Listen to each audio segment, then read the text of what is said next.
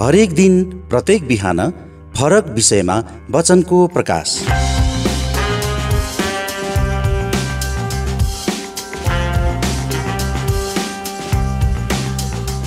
नेपाली समय बिहानको सात बजे तपाईँहरू समक्ष यही च्यानल मार्फत प्रसारण भइरहेको छ। कार्यक्रम जीवनको रोटी। जीवनको रोटी। जीवनको रोटी। पास्टर टेक दाहालज्यूको साथमा साथमा साथमा। आज पनि नयाँ विषय लिएर हामी आइसकेका छौँ। त्यसैले आउनुहोस् एकैछिन जीवनको रोटी कार्यक्रम हेर्न र वचन सुन्नतर्फ लागौँ।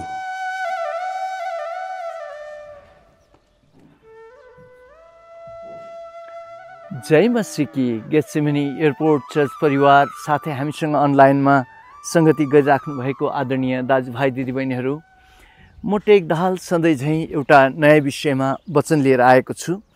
र आजको वचनको शीर्षक रहेको छ उहाँको स्थानमा र पवित्र बाइबलको भजन सङ्ग्रहको पुस्तक एकानब्बे अध्यायले भन्दछ जो परम प्रधानको गुप्त स्थानमा बास गर्दछ ऊ सर्वशक्तिमानको छत्र छायामुनि रहेको हुँदछ। र आदरणीय ख्रिस प्रेमी दाजुभाइ दिदीबहिनीहरू हामी पूर्व नेपालको भेडेटारको एउटा बाटोको छेउमा आएर हामी टिमले यो सुटहरू गरिरहेका छौँ वचनको सुटहरू गरिरहेका छौँ। र मैले आज भजन सङ्ग्रहको पुस्तक एकानब्बे अध्यायको अध्यायबाट लिएको छु र पवित्र बाइबलको जो भजन सङ्ग्रहको पुस्तक एकानब्बे अध्यायमा चाहिँ जो परम प्रभुको गुप्त स्थानमा भन्नाले स्वर्ण स्थानमा भरोसामा बास गर्दछ त्यो व्यक्ति सर्वशक्तिमानको छत्र छाय मुनि रहेको हुँदछ। भनेर चाहिँ यहाँ यसरी बताइएको छ। र म आज तपाईँहरूलाई विशेष गरेर नौ पददेखि भजन सङ्ग्रह पुस्तक एकानब्बे अध्यायको नौ पददेखि म लिएर जानेछु। र भजन सङ्ग्रहको पुस्तक एकानब्बे अध्यायको नौ पदमा यसरी भनिएको छ यदि तिमीले सर्वोच्च प्रभुलाई आफ्नो वासस्थान बनायौ भने परम प्रभुलाई जो मेरो स्थान हुनुहुन्छ। तिम्रो कुनै अनिष्ट हुने छैन। तिम्रो घरको नजिक कुनै आपत्ति यानि विपत्ति आउने छैन। भनिकन यो अर्को प्रतिज्ञा परमेश्वरको वचनमा छ।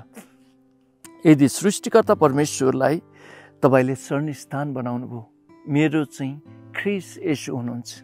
भनेर चाहिँ यो प्रकारले स्वर्ण स्थान बनाउनु भयो उदाहरणको लागि बालबच्चाहरूले आमा बुवालाई स्वर्ण स्थान बनाउनु भएर आमा बुवाहरूलाई बालबच्चाहरूले धेरै त्यो प्रकारले उहाँहरूले विश्वास गरेर मेरो चाहिँ बुवा हुनुहुन्छ भनेर त्यो अवस्थामा पनि उहाँहरू सुरक्षित रहेको देखिँदछ। म सानो हुँदाखेरि हामीसँगै गुच्चा खेल्ने एउटा सानो फुचे साथी थियो हामीभन्दा अलिक सानो थियो। तर ऊ गुच्चा खेल्नमा च्याम्पियन थियो। र उसले जब जब गुच्चा मार्थ्यो म र अर्को मेरो साथीले चाहिँ झेली गरेर कहिलेकाहीँ गुच्चा नदिने प्रयासहरू गर्थ्यौँ। त्यो समयमा उसले आफ्नो घरतिर फर्केर बाउ भनेर कराउँथ्यो। त्यो अवस्थामा हामी उसलाई गुच्चा दिइहाल्थ्यौँ। किनकि उसको भरोसा उसको बुवाप्रति थियो। र उसको बुवा त्यस्तो सामर्थ्य हुन सक्नुहोला नसक्नुहोला बेग्लै कुराहरू छ। तरै पनि उसको भरोसा बाउप्रति भएको कारणले गर्दाखेरि मेरो बुवाले मेरो सबै कुराहरू समाधान गर्न सक्नुहुन्छ भन्ने चाहिँ त्यो साथीलाई त्यो प्रकारको विश्वास थियो र काम पनि हुन्थ्यो कारण उसले बुवा बाउ भनेर उसको घरतिर फर्केर कराए पछाडि हामी डराउँथ्यौँ उसको बुवादेखि र उसको गुच्चाहरू हामी दिइहाल्थ्यौँ। भने एउटा साधारण कमजोर बाउलाई त बालबच्चाहरूले उहाँले सबै कुराहरू गरिदिन सक्नुहुन्छ भन्ने त्यसरी सम्झना भएको हुँदछ भने तपाईँले जो ख्रिस यसुलाई विश्वास गर्नु भएपछि उहाँ सर्वशक्तिमान परमेश्वर हुनुभएकोले गर्दा अब तपाईँ सर्वशक्तिमान परमेश्वरको छोरा यानि छोरी हुनुभएको छ। र उहाँलाई जति धेरै विश्वास गरे पनि अझै कम्ती नै हुँदछ किनकि उहाँ त सर्वशक्तिमान परमेश्वर हुनु उहाँले त सबै कुराहरू गर्न सक्नुहुन्छ।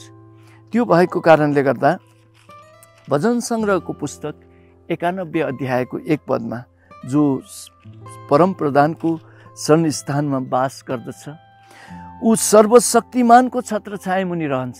तपाईँ सर्वशक्तिमानको छत्र छायामुनि रहनुहुन्छ। त्यही कारणले गर्दाखेरि भजन सङ्ग्रहको पुस्तक एकानब्बे अध्यायको नौ र दस पदले तपाईँको कुनै पनि अनिष्ट हुने छैन तपाईँको घरको नजिक कुनै पनि विपत्ति आउन सक्ने छैन भनिकन यहाँ यो स्पष्ट गरिएको हो।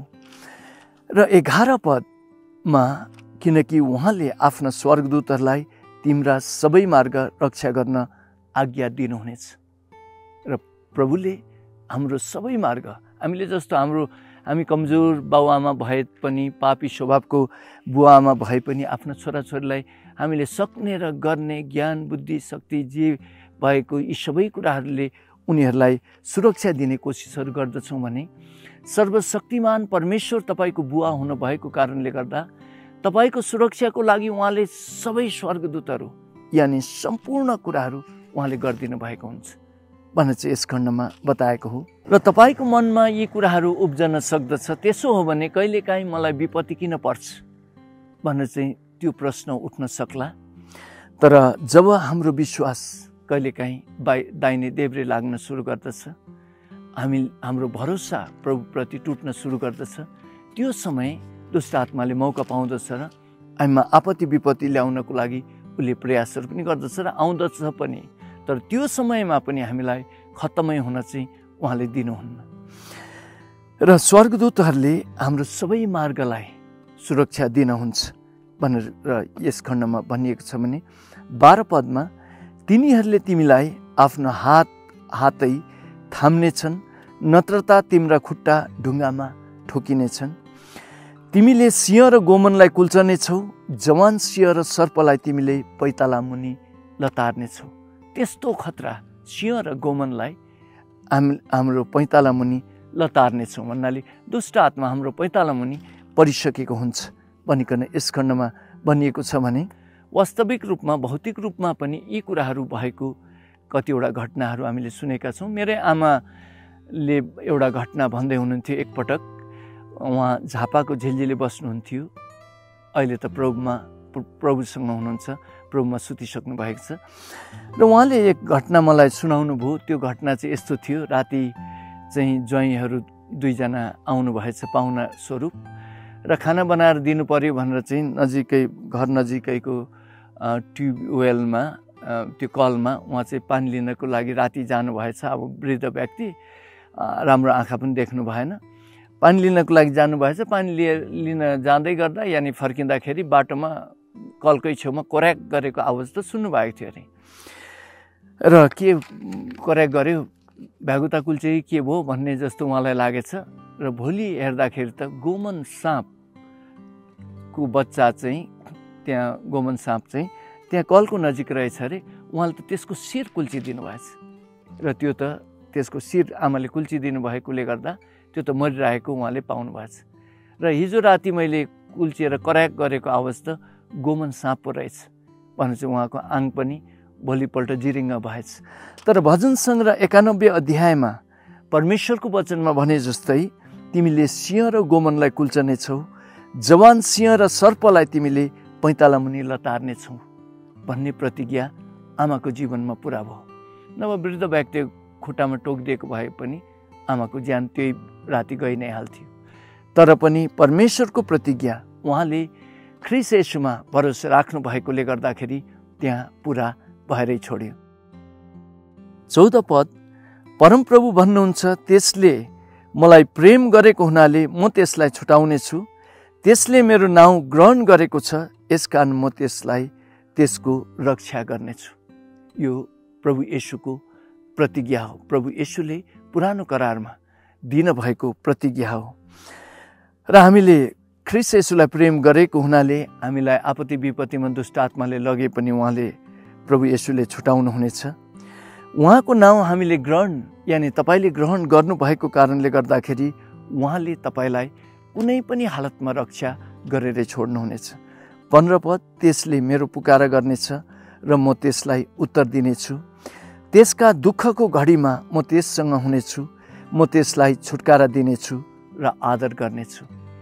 म व्यक्तिगत रूपमा विभिन्न अवस्थामा भएर जाँदाखेरि दुःखको घडीमा भएर जाँदा सृष्टिकर्ता परमेश्वर मेरो आम्ने सामने नै भए जस्तो मैले महसुस गरेँ। र उहाँ परमेश्वरमा तपाईँले भरोसा राख्नु भएको कारणले गर्दाखेरि उहाँले तपाईँलाई छुटकारा दिनुहुनेछ। त्यति मात्रै होइन उहाँले तपाईँलाई आदर पनि गर्नुहुनेछ। आमा बुवाले छोराछोरीलाई प्राय आदर गर्ने त्यस्तो चलनहरू त छैन तर तपाईँको सृष्टिकर्ता परमेश्वरले तपाईँलाई आदर धरी दिनुहुनेछ।